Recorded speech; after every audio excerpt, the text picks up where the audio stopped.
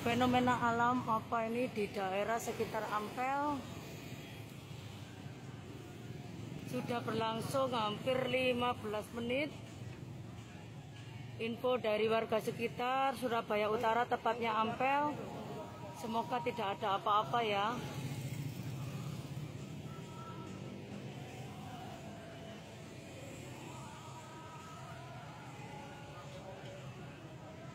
Allahu Akbar, Allahu Akbar, Astagfirullahaladzim.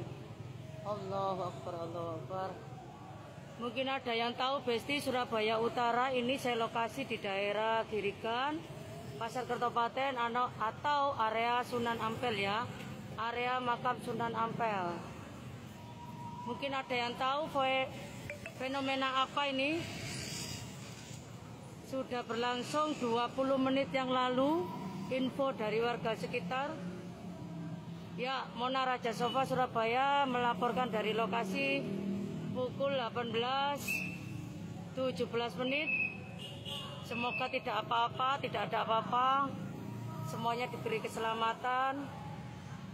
Amin amin ya rabbal alamin.